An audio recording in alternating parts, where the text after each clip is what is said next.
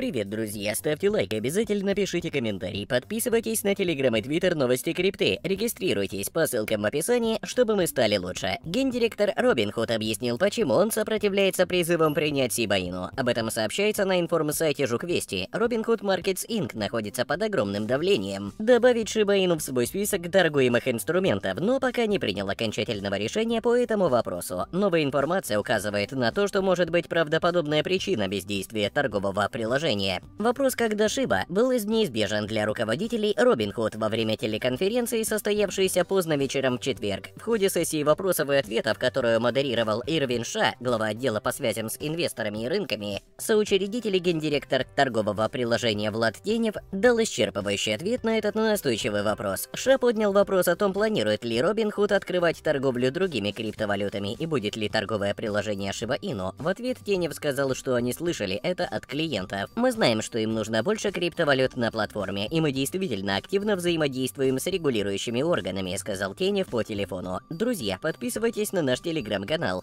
Там мы публикуем различные airdропы, вайт-листы новых проектов и новости из мира криптовалют. А теперь вернемся к теме. По словам гендиректора, основная проблема, связанная с добавлением большого количества монет, заключается в том, что многие из них могут быть незарегистрированными ценными бумагами. Он добавил, что торговое приложение хочет избежать проверки SEC в отношении листинга рынка криптовалют. Тем не менее, у нас есть надежные протоколы. Мы очень уверены в монетах, которые есть у нас на платформе, и мы намерены добавить больше монет в будущем. И мы хотим делать это осмотрительно, сказал Тенев. Напомним, что SEC ведет постоянную юридическую тяжбу с Ripple. При этом регулятор обвиняет исполнительного председателя и гендиректора Ripple в сборе средств с 2013 года путем продажи XRP незарегистрированной ценной бумаги. Робин Худ, возможно, не хочет раздражать SEC без разбора, перечисляя множество криптовалют, и вместо этого этого ждет больше ясности в отношении регулирования. Вечные последователи Шиба, называемые Шибарми, рассматривают потенциальное дополнение к Robinhood как беспроигрышное предложение. На фоне спада криптовалюты и более широкого рынка Шиб заметно вернулся к своему рекордному максимуму в 0,000088 доллара, достигнутому в октябре 28 ноября 2021. Листинг Robinhood может помочь криптомему выйти из фазы тусклости, учитывая, что это повысит доступность и спрос на токен и в свою очередь его цены. Последние данные Robinhood показывают, что по состоянию на декабрь 21 у него было